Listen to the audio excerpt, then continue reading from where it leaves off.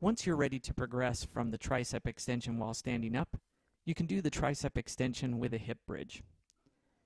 To start, lie on your back and hold one end of the band up against your collarbone. With the other end of the band, extend your arm by using your tricep muscle. At the same time that you extend the band, engage your core to lift your hips up off the floor.